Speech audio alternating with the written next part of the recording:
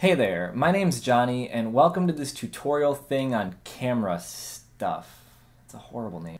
Introduction to basic camera stuff? An introduction to basic camera settings and how to use that thing you're holding, as long as it's a camera.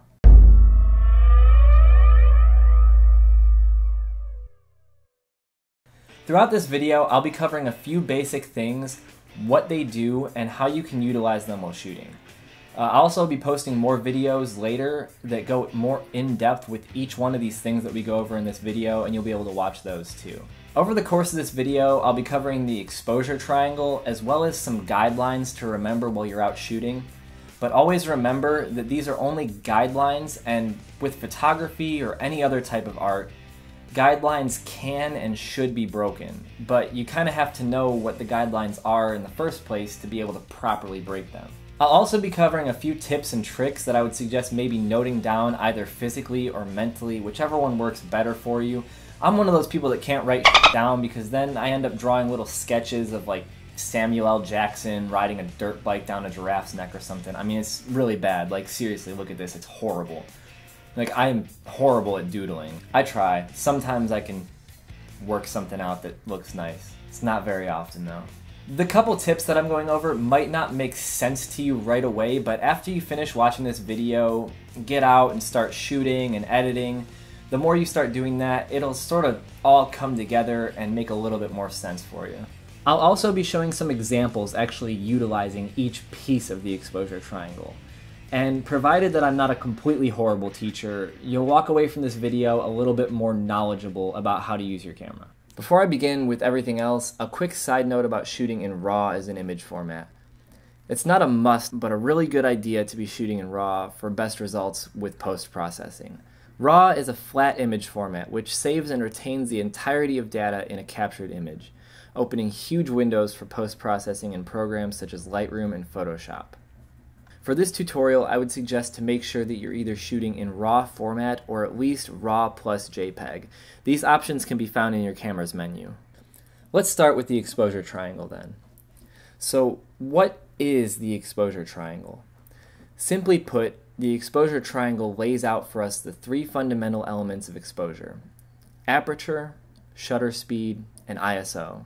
A combination of these three elements make up a value known as an exposure value, or EV. Let's begin by talking a bit about aperture. Aperture is the value noted in the form of f-stops on your camera.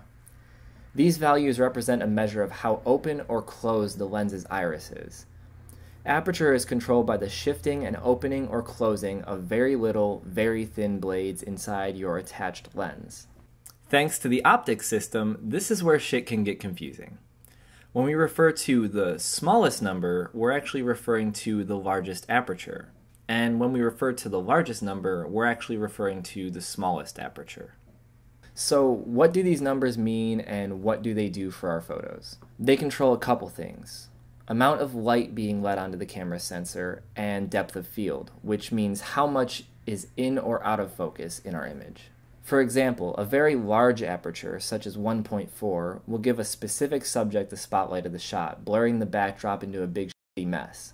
This is a good thing when you wish to give an image that soft, whimsical feel, or when shooting portraits, so when your drunk friend is embarrassing himself in the background while you're trying to take a photo of your family at a birthday party, you won't even notice that he's projectile vomiting into the fish pond. That saves you an explanation to not only your grandma on Facebook, but PETA as well.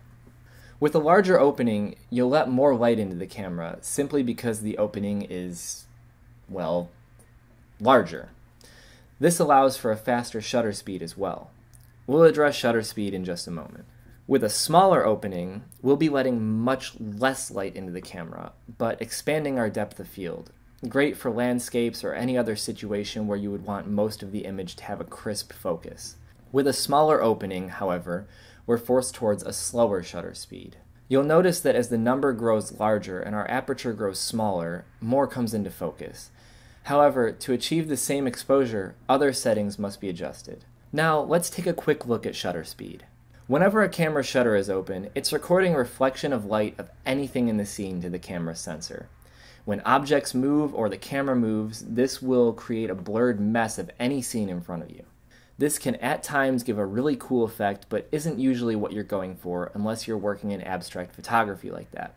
In fact, there's even a specific genre of photography referred to as kinetic photography, where photographs are created by the camera reacting to forces applied in order to create an image from movement of light onto the sensor. This includes long exposure techniques such as zooming in and out with your lens, shaking the camera while taking a photo, dropping the camera, or even tossing the camera up in the air or spinning it.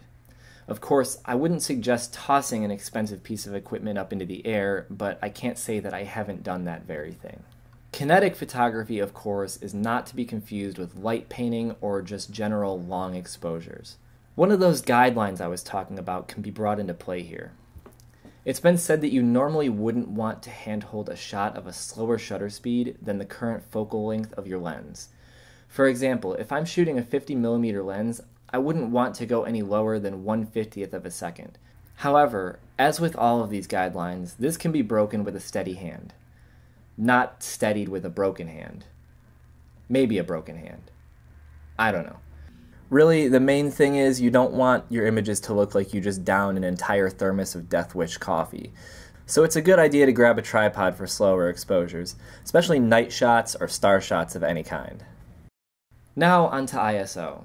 In lower light situations, there may be times where you don't want to be or can't be carrying a tripod around, nor do you have a chair or garbage can or anything else to use as one. You may also run into situations where you want to capture a fast moving subject in light that might be more dim. This can happen quite often in street photography and concert photography, just to name a couple situations. These situations are where higher ISO settings can save your shot from being ruined or missed, though higher ISO settings are not always desirable and may not always be what you want to use. So let's talk about what ISO is. ISO stands for International Standards Organization, in this case meaning a governing body that sets sensitivity standards for sensors in digital cameras. ISO can be thought of as a sort of digital gain for images. When using actual film, this is referred to as sensitivity, noting how sensitive a certain film is to light. In digital photography, this doesn't really make the sensor more sensitive to light, but if it helps, you can think of it that way. In reality, it actually artificially exposes the scene inside the camera to achieve a brighter lit image. The downside to shooting with a higher ISO is the introduction of more digital noise to your photos. There are times where this isn't desirable and should be avoided, though there are also times where it's not so bad and it might be necessary to capture a really important shot. There are also plugins and techniques that can help you reduce noise in certain situations. So how do we put all of these together to take a photograph? When taking a photograph, you want to keep these three things in mind. Think about what you're shooting. Do you want a specific subject to take the spotlight? Are you looking to showcase an entire landscape? How light or dark is your scene? For example, let's say I'd like to photograph a flower. I mean, I'd like to, but all I have is this coloring book of exotic cocks. So it'll have to do. I'd like this coloring book to be the center of attention. So this tells me that I'd want to work with a wide aperture. So something around 1.8 to 2 should be good. In this case, I'm going to use 1.8. Next, I'll take note of my surroundings. How light or how dark is it? The room is somewhat lit, but it's still quite dim through a camera. Since I'm using such a large aperture, this means I can maybe get away with using a very low ISO, in this case, I'll try to use 100 and see what I can achieve. I'll dial this in and take it right down to 100. Since I bumped this down to 100, you can see that the picture on the camera actually got darker. This means that it wants me to adjust my shutter speed. Now, given that I have my scene in proper focus, this is the last thing that I'm going to need to actually take care of. In this case, I focused beforehand, so everything is good. Now I can begin to adjust the shutter speed by using the camera's light meter. The light meter is shown in at least one form of a line similar to what's shown here. You'll see that you have a zero in the middle with negative 1 and negative 2 to the left, or plus 1 and plus 2 to the right. This is how the camera tells us what it thinks the proper exposure should be for the given scene. In this particular scene, with an ISO of 100 and an aperture of 1.8, I was able to reach a shutter speed of 1 13th of a second. This is far too slow to handhold, so I actually made use of a little suitcase and stabilized my camera on there because I only have one tripod and I have this other camera on the tripod. It's another little tip. Make use of your surroundings. If you don't have a tripod or, you know, you weren't able to bring a tripod, it's always good to just set up on something. As long as it keeps your camera still, I mean, you can make a lot of use out of everyday objects. So there we have a photo with the proper exposure and a very shallow depth of field. On this particular camera, the light meter actually reads 0, 1, 2, 3 in both directions. The camera that I'm using here is a Canon Rebel T5i. If I half press on the shutter button, it'll actually give me a light meter reading. You can see a little arrow over here on the positive end, meaning that it wants me to increase my shutter speed faster.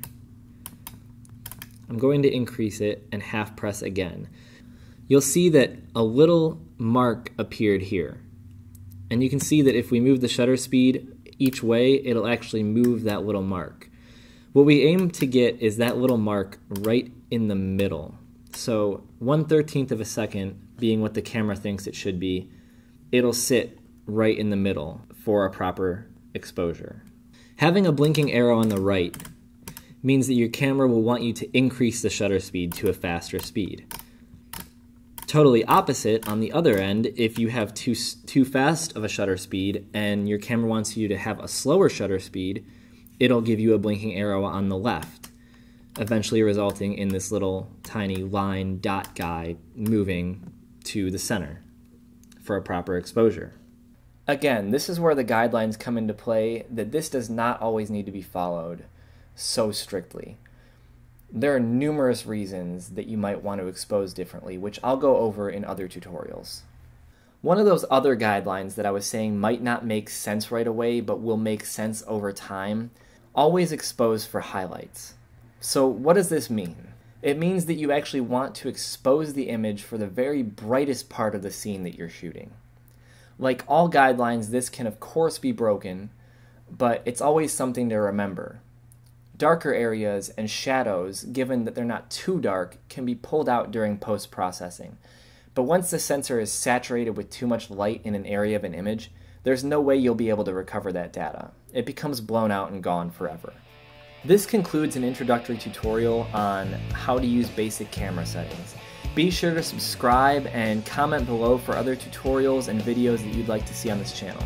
Thanks for watching, and I'll see you next week.